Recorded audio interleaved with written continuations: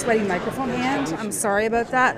All right, Kiefer. So, the definition of rabbit hole is a bizarre, confusing, or nonsensical situation or environment, typically one which it is difficult to extricate oneself.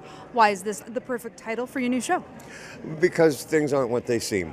Uh, and I think we live in a world where discovering and identifying the truth is getting harder and harder.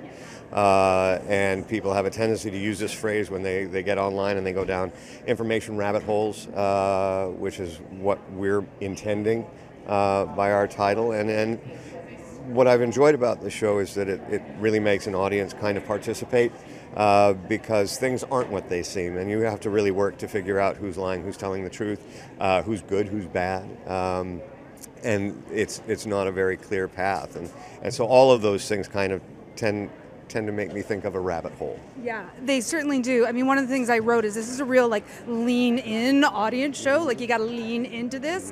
What do you think people need to know about Rabbit Hole before they delve in?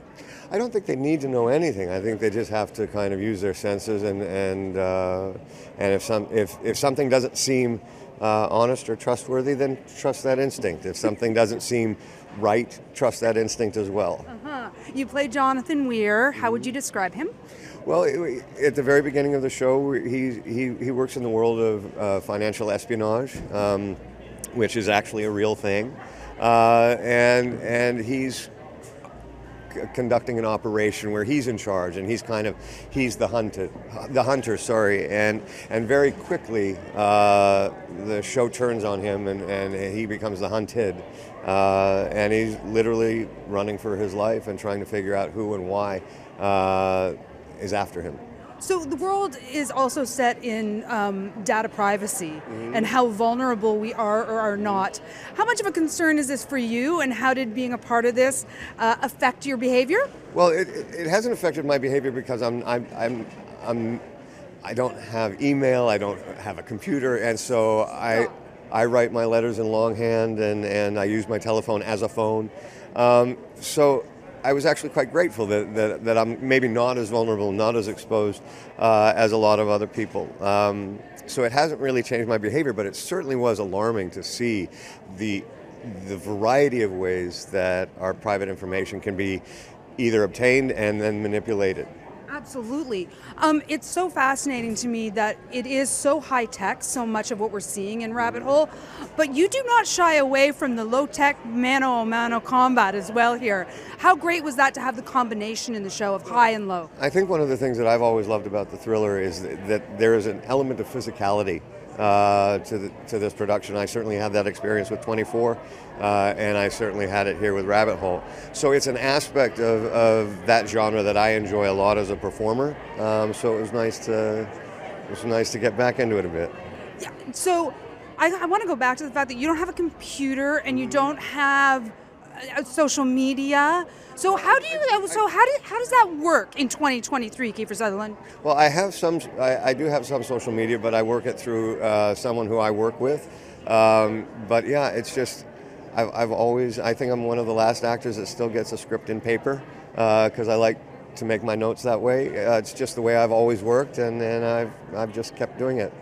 That is fascinating to me. Was it something that you were concerned with in terms of privacy, and how do you think people will look at their own privacy when they watch this show? Um, well, I think they'll, they'll be concerned about uh, how exposed that they are. And, and to be honest with you, the reason why I didn't have a computer is I'm a horrible typist.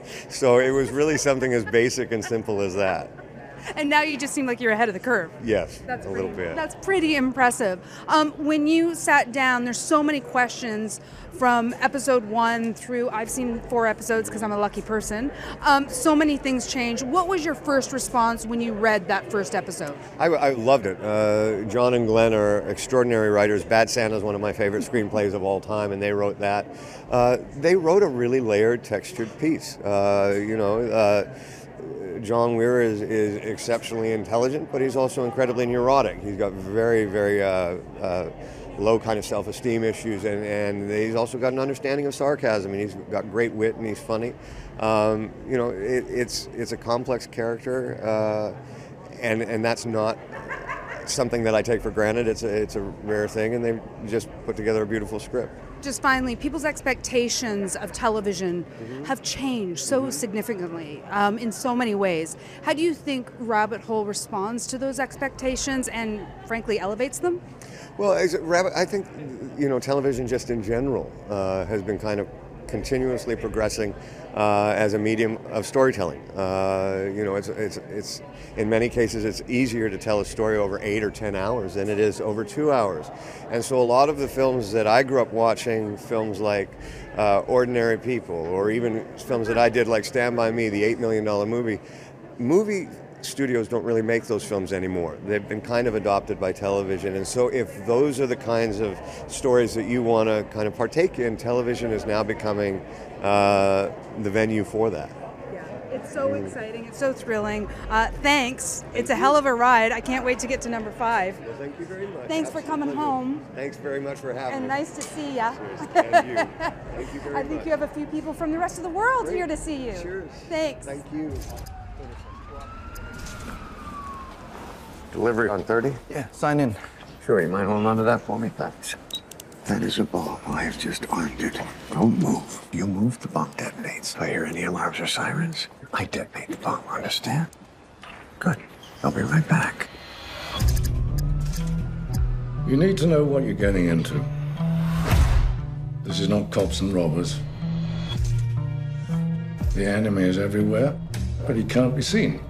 So what's it going to be? Are you going to be all heroic and difficult, or are you going to be sensible and help us save the world? Data drives everything. You think you're shopping for socks, but they know who you're voting for. Why me? I can trust you. You're the one who taught me not to trust anybody. Corporate espionage is the dirty way to get rich. Are you accusing me of something?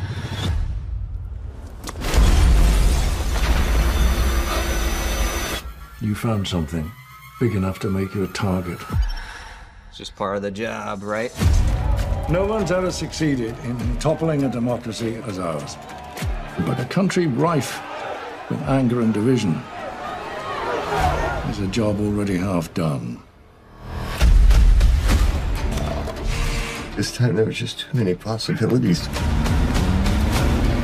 I can't tell the difference between what's real and what's not. Well, you're really messing this one up, John. There's definitely something bigger going on here. What have you gotten me into? You must have absolute trust in one another and absolute trust in the plan. This is gonna hurt.